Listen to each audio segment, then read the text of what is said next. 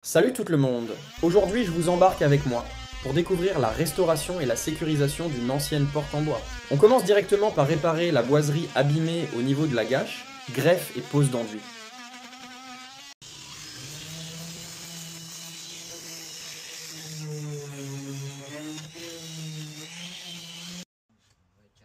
On va remettre l'ancienne serrure, qui a la particularité d'avoir une tétière oblique. Celle-ci a été modifiée pour accueillir maintenant un cylindre européen.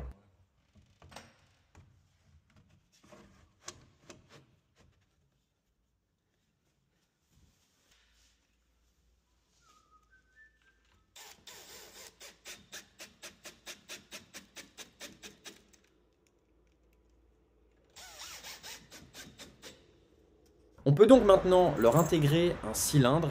Abus protégé qui est anormalement long, vous allez penser, mais c'est normal. Le cylindre de la serrure va passer à travers. On va ajouter une barre verticale de sécurité Multlock Iseti. On modifie donc la boiserie pour l'adapter. Ouais, j'avais déjà commencé à filmer le fois.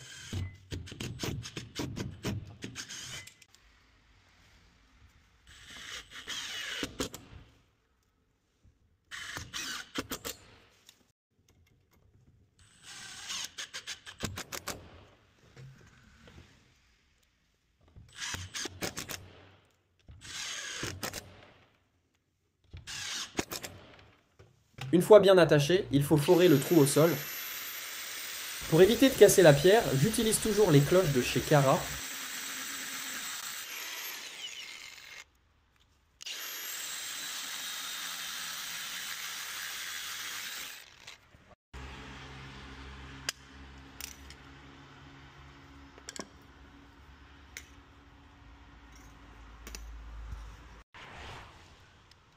Je peux maintenant sceller au chimique la douille de sol.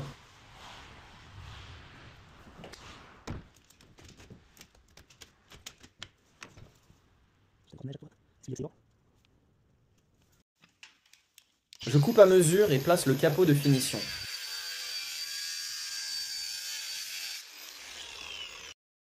Il faut maintenant placer le deuxième cylindre qui a même fermeture pour verrouiller la barre.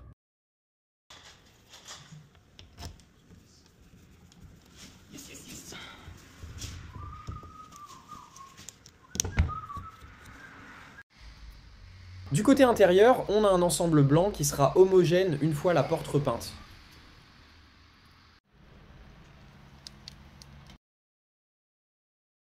De l'extérieur, on a respecté le style de la porte en plaçant des rosaces et une poignée en fer forgé.